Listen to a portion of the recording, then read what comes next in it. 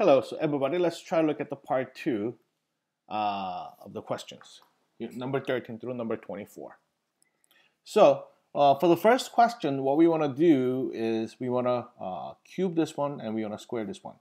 So when you cube negative 2 to the third power, so what do we end up getting, guys? That's equal to negative 8. Because negative 2 times negative 2 times negative 2. How about the second one? Negative 3 squared, in fact, that's equal to plus 9. Because we have two negatives becomes positive. So when you combine them together, we get positive 1, which is choice. D becomes the answer.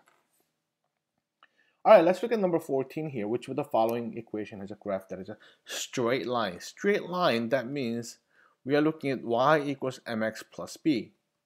All right, but that's important. But uh, something that's more important is notice the exponent of x and y.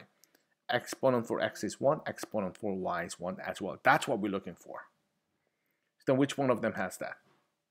No, this one has a square. That's not it. Oh, these two x and y are multiplied together, so that's not it.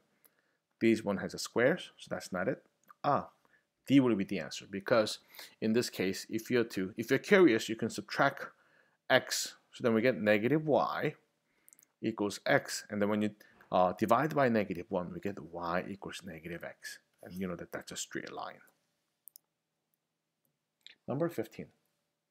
Which line is not parallel? You see, if it's parallel, then slope 1 is equal to slope 2. What is the slope of this line?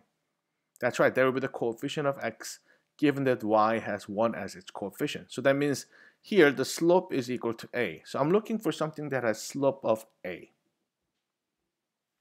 This one does have slope of a because if I multiply by a, then we get ax minus 3a is equal to y. You see, I have to solve for y by itself and then look at the coefficient of x. And you can see that uh, coefficient is a, that means slope is a. So that's good. How about second one? Once again, I'm going to multiply by a. Then ax equals y minus 3. And then this is in fact identical to this one. So uh, some can say that uh, when they're overlapping, that's also parallel as well. So this is good. Now, uh, third one here. Uh, oh, ax. So what, what am I what am I going to do? I'm going to divide each side by a. Then I get to realize that y minus 3 over a, I don't really care about this portion, but slope is 1 over ax. So in fact, c is not parallel to the given equation. How about D? When I divide by 2, then AX equals Y plus 5 over 2. Once again, I don't really care about the y-intercept, but the slope is A, so it is parallel. And here, when I add y, then we get ax equals y plus 5a. I don't really care about 5a, but the, in this case, coefficient of y is 1, then the coefficient of x becomes a slope, which is equal to a. So E is also correct. Now let's look at number 16 here. Now they're saying that these two are equal to each other. Then what is the value of A? That's what they're looking for. Now, when, uh, so I'm, what I'm going to do is I'm going to multiply those two things together. AX plus 3y. So when I multiply those two things together, I'll be getting a square x square, which matches with the first one. So we're good so far. Outer, so we get plus 3axy. The inner becomes plus 3axy. And then when I combine them together, I get these two become 6axy, but the middle term says negative 6xy. So that means that those two things has to be equal to each other. So in other words, negative 6xy has to be the same thing as 6axy. And you can see that I can divide both sides by uh, xy. And those two cancels away. Those two cancels away.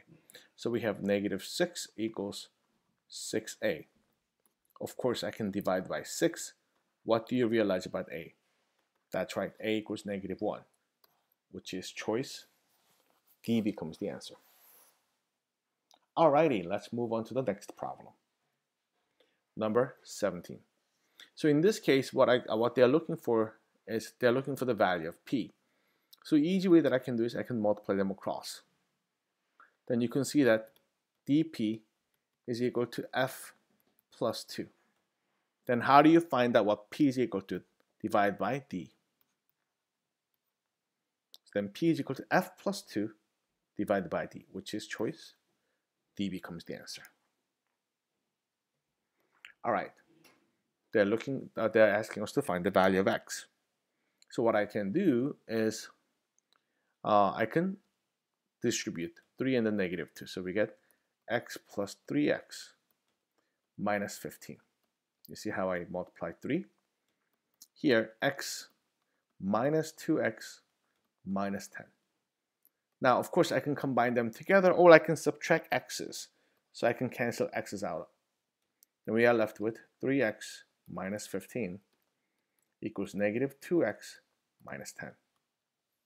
Then what I'm going to do is I'm going to add 15 and add 2x.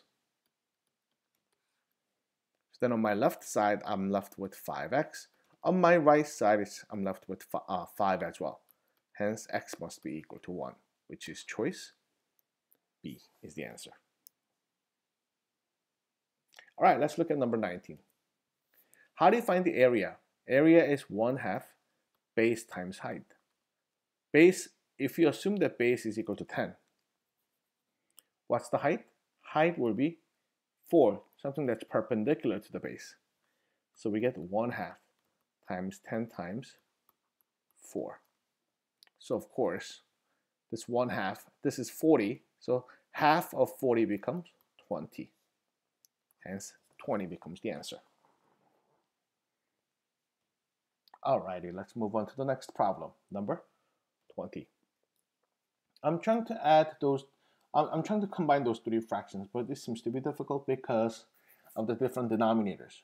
Then I need to find the common denominator. What, what would it be? 30, that's right. So I'm going to multiply top and bottom by 10, so I get 10x over 30 plus second one I have to multiply top and bottom by 15. So I get 15x over 30. Third one I just have to multiply top and bottom by 6. So minus 6x over 30. Then I get 25 minus 6x becomes 19x over 30. So which is choice E becomes the answer. All right, number 21. Uh, in order for to convert this one into scientific notation, notice I'm, I have to move this one to the right. One, two, three, four. You see?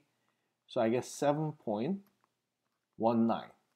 See, decimal point always has to be go after the first value that you see. Multiplied by how many times did I move? One, two, three, four. So it's not a, uh, it's not 10 to the fourth power, but 10 to the negative fourth power. Because small number became bigger, so we have to compensate that by negative sign in the exponent. So which one will that be? Uh, okay, choice D becomes the answer. Alrighty, let's look at number 22. Uh, in this case, how would you be able to find the value of x? Yes, uh, we can uh, multiply them across here if you want to. Or I can multiply top and bottom by the common, uh, you know, to make the common denominator. So this one is x plus 1, x minus 1 when you factor the denominator here. And I only have x plus 1. So what I can do is I can multiply top and bottom by x minus 1.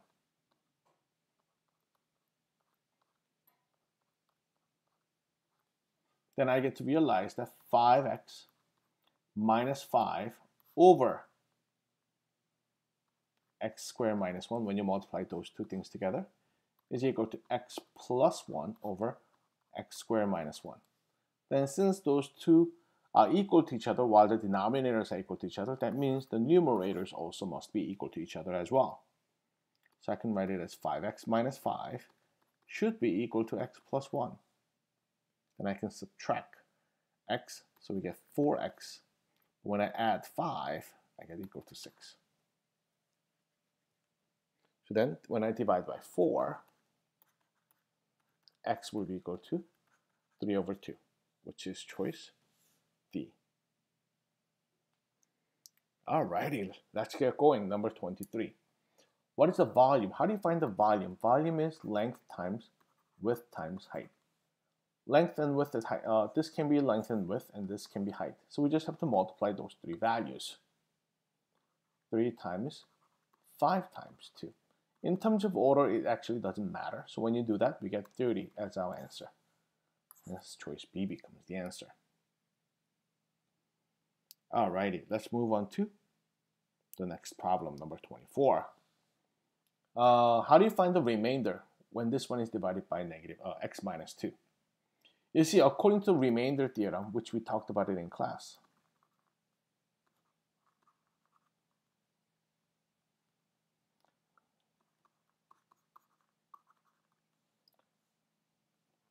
remainder theorem. Uh, if I have polynomial p of x divided by x minus a, the remainder is simply p of a, meaning whatever makes the denominator equal to 0, put that into the numerator. The value that you get will be a remainder. So in this case, what makes this one equal to 0? That's going to be 2. So I'm going to put 2 in place of x's here. So we get 2 to the third power minus 4 times 2 squared plus uh, 2 plus 9.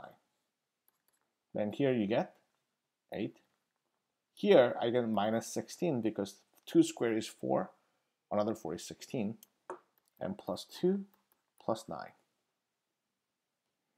Then what do we end up getting, guys? Oh, that's equal to 3. So choice B becomes the answer. All right, so with that one, I'm going to close up for today. I'll see you later.